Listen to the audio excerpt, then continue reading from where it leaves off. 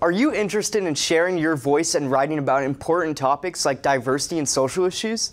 If so, then the Diversity Leadership Project Scholarship might be for you.